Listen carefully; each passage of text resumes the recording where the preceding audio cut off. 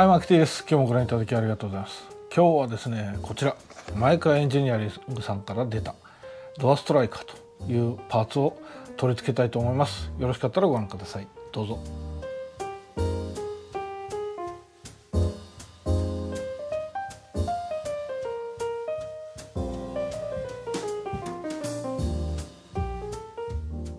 はいこちらですね早速開けていきます左右ですね右と左のパーツが入ってますので2個と。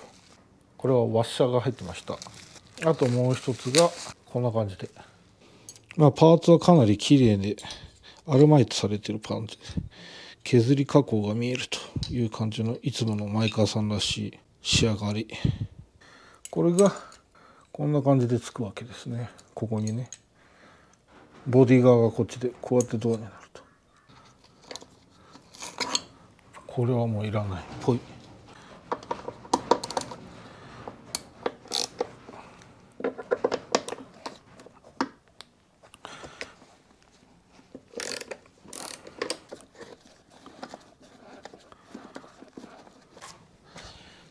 汚ね。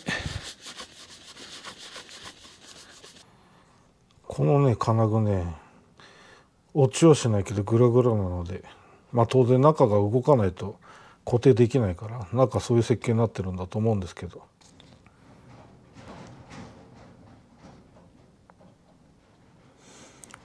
こういうとこがね錆の原因になりますからね。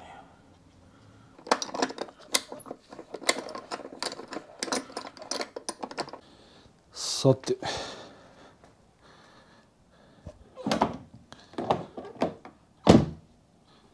全然まだ外。外だからもっと内側か。あれさっきもっと内側にいたはずなのに引っ張って出ちゃったか君。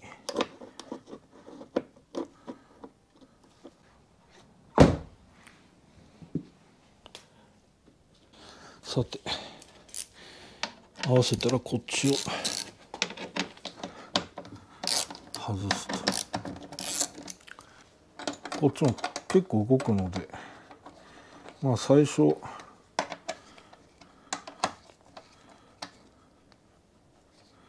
ょっと怖いねこれ。こんな出ててネジ当たんねえのか？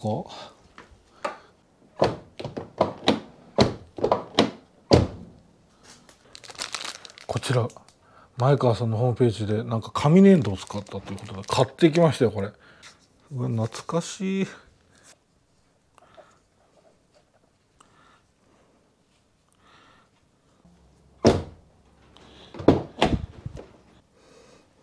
あまあ均一に潰れてるんじゃないですかね。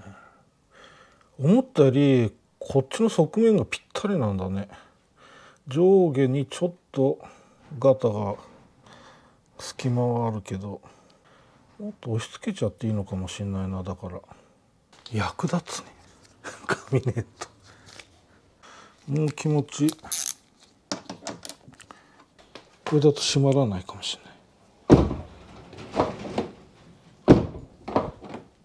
これだと行き過ぎなんだよな。難しい意外と。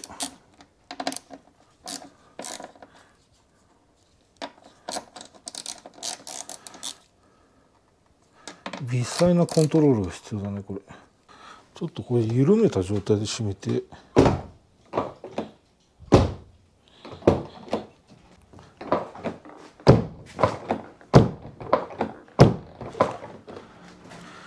締め付けると閉まらないんだ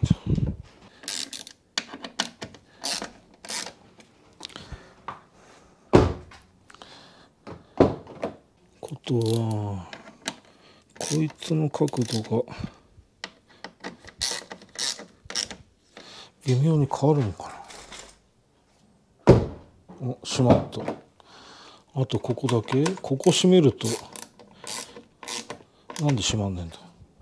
あ閉まった。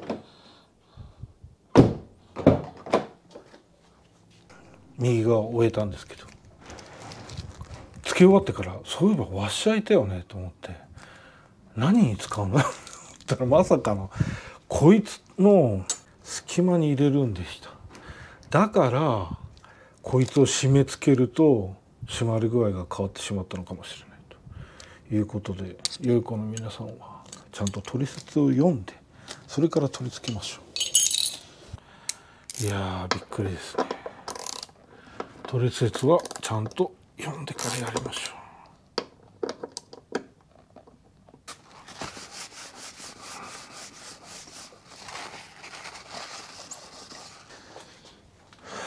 塗装してる間に右が塗装の可能性を待ってる間に右を直してしま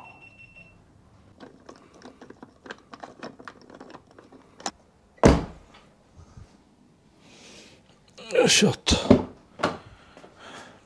今度は忘れずにワッシャーを入れましょう。ワッシャーがパーツとボディの間ですね。シリコンで。ピチョって。これワコースのラバーです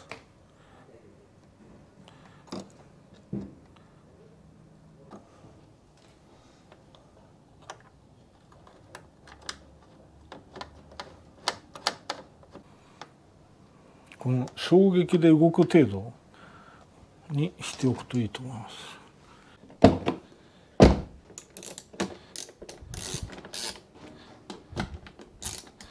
軽く締めて。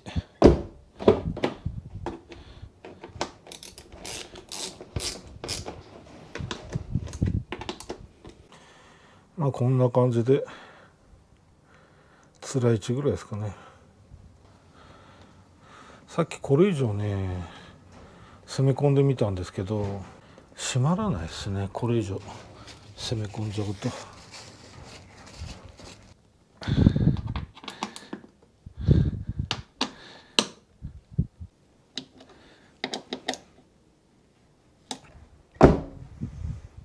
さて取り付けたし試乗してみようか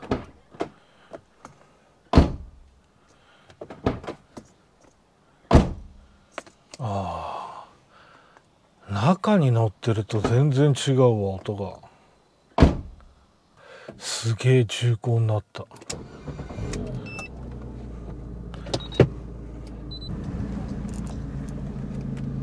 あ？お？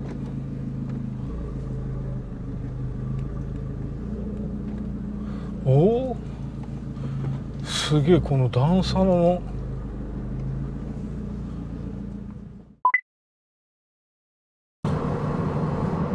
今ですね思想に聞いてます。どこに来てるかというと富士山の南側ですね。いつもね僕は富士山左回りなんですけど今日は右回りをしてみました。同じコースでも左回りと右回りでね雰囲気が違うというか走ってるコースとしては面白いですよね。違う逆回りになるとね。今日はゴールデンウィーク中日ということで車が多少いますがここはね本当に道がいいんですよ関東近郊中部近郊の人だったらこの富士山の周り右回り左回り走ったことある方いっぱいいらっしゃると思うんですけど楽しいコースですねここは。でこのドアのストライカー、まあ、補強と言っていいんだろうと思うんですけどこのドアのストライカーをつけてみて今200キロぐらい走ってみたんですけど最初ね近所を走ってる時はゆっくりだったんで、まあ、時速20キロとかの段差こう徐行するようなコースをね走ってみたらん？ん？って感じだったんですよ。硬すぎると。片割れに今度は足がバタつく感じを受けたので前後とも車高調整1ケースのビーツの車高調をこう1段階きつめたんですね前後とも。そしたらかなりバタつきが収まった気がするのでちょっと今日は遠出をしてみました。でこの今までいろいろ峠ずっと走ってきて思ったのはやっぱり徐行はネガが強いかなっていう感じはするんですがやはり法定速度プラスちょっとだけプラスちょっとだけのスピードだけだとに行くとかなりいいことが分かりました。多分シリーズ3ぐらいの前期型に乗ってる方だと顕著に現れるかもしれないんですけどこのドアがまあ補強というかリジットになった感じをすごく受けるのはこの辺の一体感が増すんですね。例えば高速道路も乗ってみたんですけど高速道路の継ぎ目とかあとは峠である減速帯。バンバンバンバンっていう。ああいうとこでのスピードが出てると振動が減るというか全体の動きがすごくいい感じになるんですね。足が動く感じがしてバタつきも抑えられる。ただゆっくり通過するとかなりそのネガな感じを受けるかなっていう感じで。なのでこれをもし入れる方だったら僕と同じフィーリング受けるか分かんないんですけど車高調みたいにこう減水力の調整がついてた方がいろいろいじれて調整が効いていいんじゃないかなっていう気がしましたね。まあこういう段差を通っててもうなんかしっかりした感じはこういうある程度今法定速度ちょっとプラスしてますけど。まあそのぐらいであればちょうど感じられるかもしれないな。ただこうシリーズ4につけたらどうなんだろうね。もうシリーズ4とかってしっかりしてるからな車が。だから乗っててもね4だとほんと違うんすよね。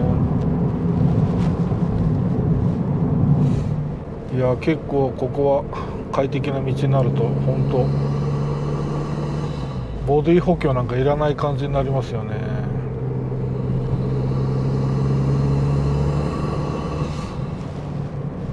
これどんな人が似合うかこのパーツ、まあ、前川さんのパーツって結構いつも思うのがそのエッジが効いてる製品って僕はいつも思ってるのが万人受けする製品ではないんですよね前川さんのパーツ。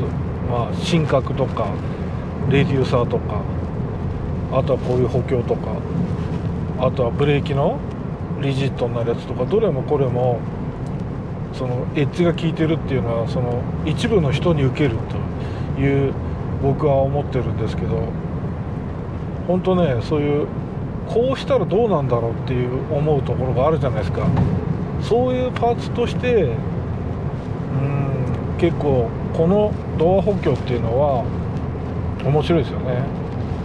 愛心さんのと違って愛心さんのはこう前後に詰めるだけですけどこれはどっちかというと前後も詰めるし上下がメインみたいな感じ。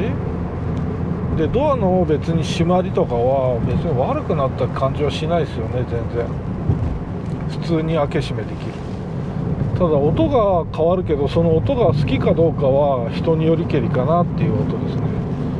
バスっていう音ではなくてどっちかっていうとなんかうんなんかちょっと例えにくいなあの音は。